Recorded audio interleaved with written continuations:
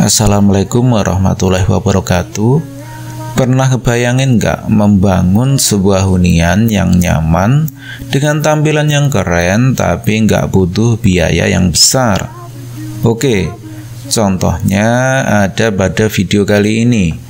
Inspirasi desain rumah kali ini tidak luas, namun mampu mengakomodir kebutuhan primer sebuah hunian, termasuk sirkulasi udara yang baik, tata ruang yang nyaman dan tata furniture yang simple sehingga memberikan kenyamanan yang maksimal meskipun ukuran rumahnya minimal. Oke, bagi yang mau menggunakan jasa kita boleh langsung aja order desain via Shopee. Linknya ada di deskripsi. Dan sebelum order boleh tanya-tanya dulu ya boleh tanya dulu via WA WA-nya juga sudah ada di deskripsi juga. Dan bagi teman-teman yang mau request gratis boleh silahkan langsung aja tulis di komen. Siapa tahu salah satu dari kalian beruntung dan terpilih Desain rumah mungil kali ini berukuran 4 kali 8 meter untuk rumah induknya dan 2 kali 4 meter untuk area teras yang juga kita fungsikan sebagai area terima tamu. Oke, sekarang coba kita review dari eksteriornya. Untuk konsep eksterior pada hunian kali ini bergaya simple tiny house dengan poin fasad, ada pada jendela depan yang kita kasih sebuah bingkai beton. Hal ini untuk menghadirkan kesan modern pada rumah mungil ini.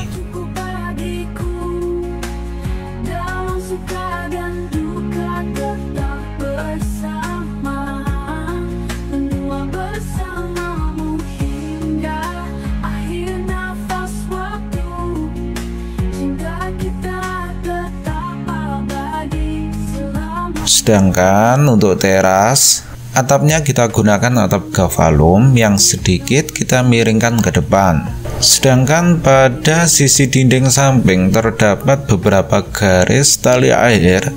Hal ini bertujuan agar pada sisi tersebut tidak terkesan kosong. Untuk ornamen tali air seperti ini harus tetap proporsional, tidak boleh terlalu banyak karena justru akan mengurangi estetikanya.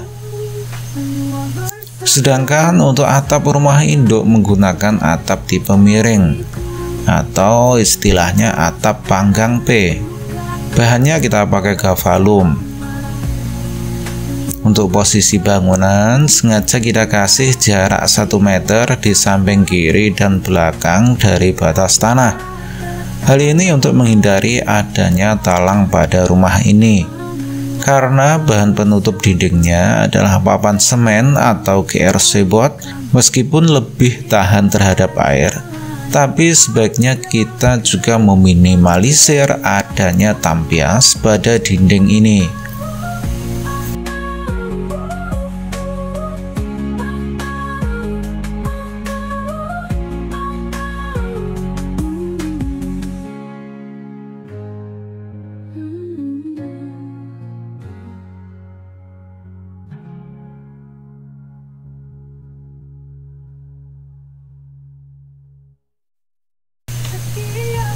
Oke, sekarang coba kita bergeser ke area teras. Dengan ukuran teras 2 kali 4 meter, sudah cukup difungsikan sebagai area terima tamu dan area nongkrong tentunya. Oke, saya kira cukup untuk review eksteriornya. Sekarang coba kita review interior.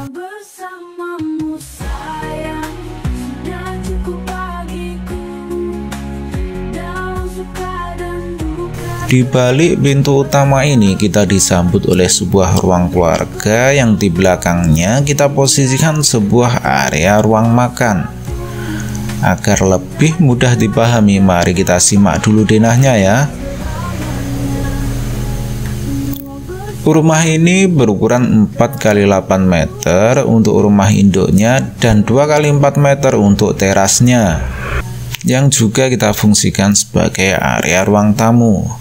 Kemudian area dalam terdapat ruang keluarga ruang makan, dapur, kamar mandi, kamar anak, dan kamar utama. Sekarang kita kembali berdiri di ruang tengah, tepatnya di samping meja makan, dan coba kita bergeser ke area ruang keluarga.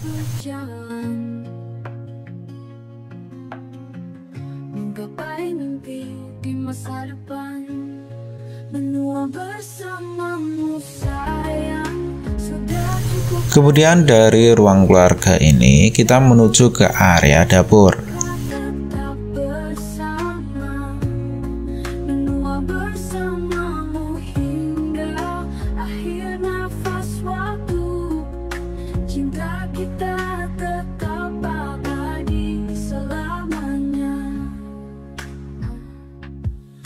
Dan tepat di depan dapur ini kita posisikan sebuah kamar utama untuk kamar utama ini berukuran 2 kali 3 meter. Di sini kita isi dengan satu buah bed berukuran 160 kali 2 meter dan satu buah almari pakaian.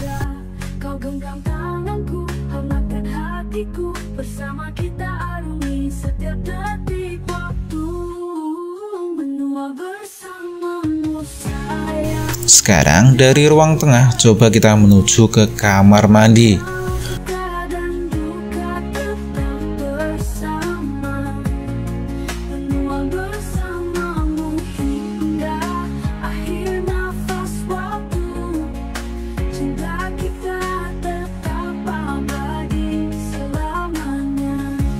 Untuk kamar mandi ini kita isi dengan satu buah kloset dan satu buah shower.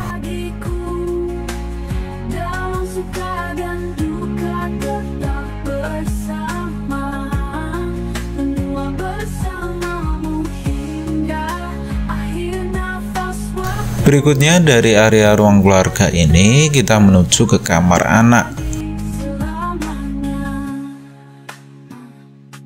Untuk pintu kamar anak ini wajib pakai pintu geser. Sedangkan untuk menjaga privasi tentunya dikasih kelambu ya.